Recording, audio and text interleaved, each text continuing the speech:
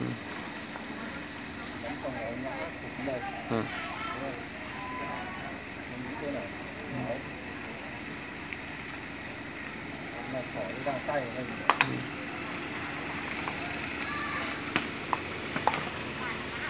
cái cự ly bắn thì khoảng bao nhiêu mét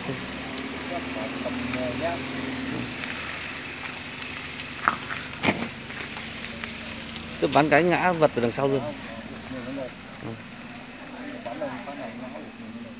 còn bà lúc đấy thì đứng ở đâu bà lúc bây giờ là bà lăn lộn ở chỗ này Ừ. nó lăn lộn nó đôi phát thì nó bắn bà đạn chỗ này rồi Ừ. cày đạn cày Ừ. bà lăn từ trên lăn đến đây nó bắn luôn ở đây ừ. Bà thấy ông ấy nằm đây bà lăn lung tung này hai gia đình này thì nói chung là ừm, nói chung là cũng nói thật là cái cái gia đình nhà này là nó sống là đều cáng.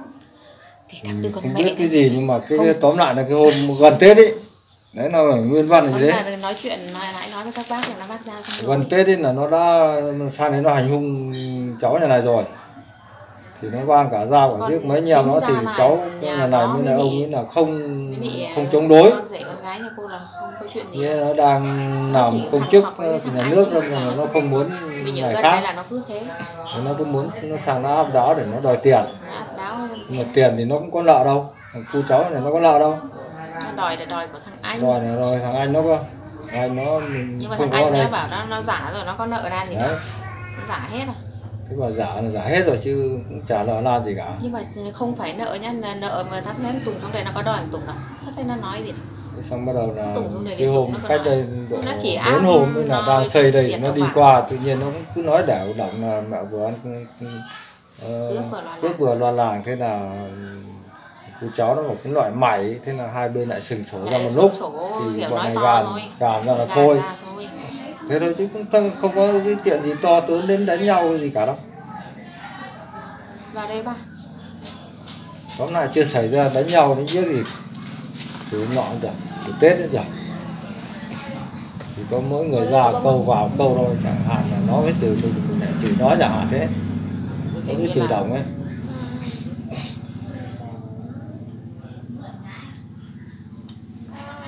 Sự việc thì nó xảy ra thế thì nó cũng không biết trước được ra là nó bùm phát ông ấy là nó nằm đến ngày cũng chả biết nào mà tránh được mình biết nó ngồi trong kia nó cái rình mình từ sáng ấy thì con chó cắn trộm ấy mình biết làm sao mà đỡ rồi Dình từ sáng thì nó khi ông tách ra phát là nó bắn ông luôn chứ từ sáng tôi với ông xây đây nó có dám bắn đâu. Đấy.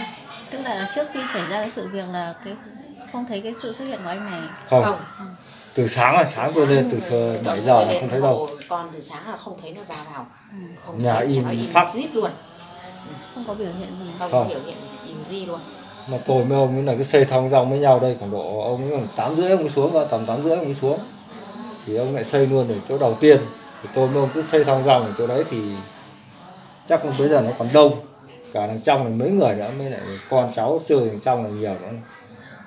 Nên nhà bên này nó ra ra vào vào nữa. Cho nên lúc bấy giờ chắc là nó chưa chưa tách được ông già nó chưa bắn. Sau khi nó ông ấy đi cái hết về cái cắt xoan ông lại đi về đấy trước thì ông đang bị găng tay ông đứng độc một mình ở chỗ kia là, là lúc bấy giờ tách riêng ông già là nó mới bắn đấy.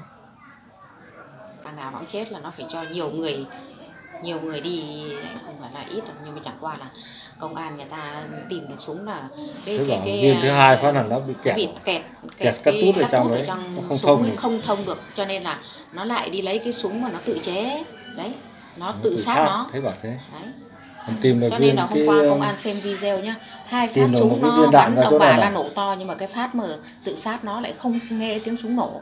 Có nhưng nó nổ mình nó nổ bé nhưng mà ở trong video là không không nghe thấy. Hôm qua các bác công an à, là quay à, lấy video là không về cái cái xong tôi ngồi đây là tôi thấy cái đầu đạn đây này thì các ông bảo là đầu đạn là đầu đạn súng CC nhưng qua lên thì nên xem thì lại không phải súng CC nên, nên khám nhà thì lại lại lại chỗ tìm thấy ấy. một cái súng khác lại không phải cái súng thế CVC bắt đầu tôi mới nên yêu cầu là tôi mới yêu cầu khám nhà vì tôi cũng nghi là nó có hai khẩu. Tôi yêu cầu là phải khám nhà và rõ nét tôi yêu cầu công an. Thế thì công an bảo được rồi để thế người ta lại khám đến tận tối trong. mới xong là lại thấy một khẩu nữa. Lấy cái thấy cái khẩu mà chính nó bắn mà cái viên cắt tút nó bằng vào chỗ chỗ cái đầu đạn là nó bắn ở đây. Bằng ra chỗ cửa bếp này cái đầu đạn này. thì mới đầu rồi thì tôi tưởng cái đầu đạn này là bắn vào đoàn nó trượt ra đây coi như không phải cái đầu đạn đấy là lại của ông ấy cơ. Cái đầu đạn bắn vào đoàn nó thấy bảo tôi nghe thấy bảo chụp ra đấy chụp ngay là nó vẫn trong trong này thì tôi mới bảo thế thì cái đầu đạn này là cũng tới tôi mới ra kia thì nó có vệt cày xuống dưới đống đường kìa à đống đống sân kìa. Nó bay vào trong tường kia có vệt bay ở đấy thì nó phi cái đầu đạn ra đây